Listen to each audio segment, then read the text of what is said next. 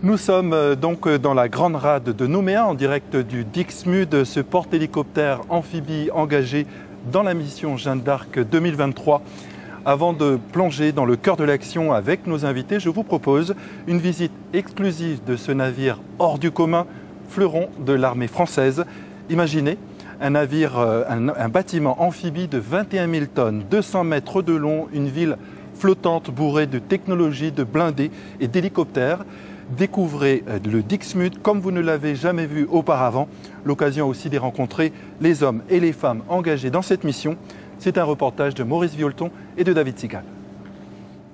Impressionnante, insolite et plutôt rare, ces images du point le plus culminant du Dixmude, 33 mètres de hauteur.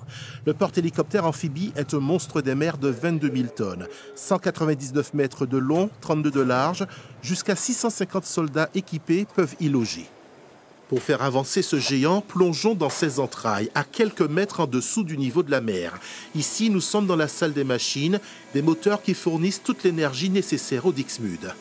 Là, il vient de finir la soudure. Nous, on a fait 6 euh, cylindres sur les 12 pour la régule. Okay. On a trois, euh, trois, gros moteurs ici en fait, qui produisent euh, l'électricité pour l'ensemble du bord, donc pour la propulsion, mais aussi pour les frigos air, les cuisines, euh, euh, l'ensemble de l'électricité du bord est produit à partir des moteurs qui sont, euh, qui sont ici. Et au total, on a 28 000 chevaux, donc on pourrait alimenter une ville de 20 000 habitants. Durant l'escale à Nouméa, toute une opération de maintenance a eu lieu dans la salle des machines avec une température pour l'occasion de 46 degrés dans ce lieu très rare d'accès pour le grand public. Autre lieu d'exception du bâtiment, la passerelle au centre de tout l'imaginaire du monde marin, quel que soit le navire. Ici, des élèves officiers. Ils sont 160 à parfaire leur parcours de futurs marins, à l'instar d'Adrien, âgé de 24 ans. Il est à bord du Dixmude pour la dernière ligne droite de sa formation. Adrien qui apprend au moment de l'entretien qu'il sera retenu pour devenir plongeur des mineurs, son vœu de toujours. Ce qui est incroyable avec ce, métier, c'est qu'on va pouvoir plonger, effectuer des actions de déminage, mais on va garder aussi nos compétences de, car. Donc euh, là, ce qu'on est en train de faire actuellement, c'est-à-dire faire du car en passerelle sur un porte-hélicoptère, on va pouvoir continuer à le faire. Donc en fait, finalement, euh, on est gagnant dans, dans tous les domaines. Des officiers stagiaires, des légionnaires, des militaires de l'armée de terre, en plus de marins, et même un hôpital de 70 lits.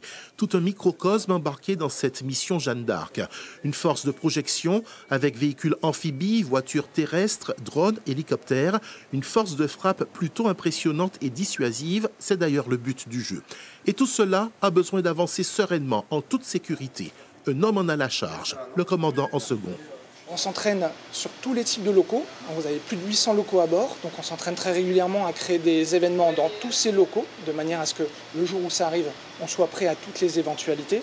Et puis en général, on essaie de pousser le réalisme, la simulation, le plus loin possible, en essayant effectivement de mettre de la fumée, d'éteindre la lumière, de mettre les gens dans des conditions les plus proches du réel pour les préparer à un événement de ce type.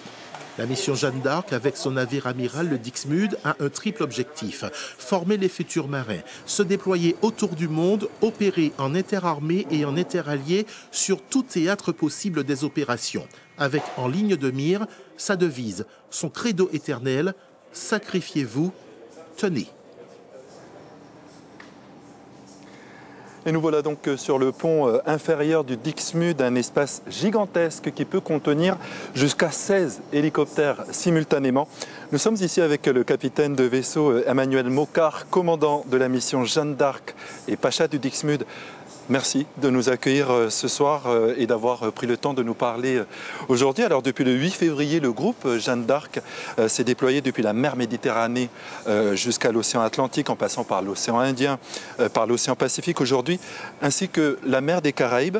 Pouvez-vous nous expliquer en quoi consiste la mission Jeanne d'Arc 2023 Bonsoir Steven, je suis ravi de vous accueillir à bord du Dixmude pour parler du bateau, pour parler également de notre escorteur, le Lafayette, et de la mission Jeanne d'Arc en, en, particulier. La mission Jeanne d'Arc est une mission tout d'abord passionnante, passionnante parce que c'est à la fois un déploiement opérationnel et une mission de formation. Un déploiement opérationnel, vous l'avez dit, qui nous fait passer à travers des zones d'intérêt stratégique, à fort enjeu à la fois maritime, économique, euh, sécuritaire ou encore environnementaux, euh, dans lequel le groupe Jeanne d'Arc, constitué du Dixmude et du Lafayette, sont à la fois des capteurs de renseignements pour obtenir une appréciation autonome de la situation dans, ces zones, mais ce sont également des vecteurs d'influence, des vecteurs de rayonnement, des vecteurs de coopération, euh, des vecteurs capables d'intervenir en fonction de la situation rencontrée.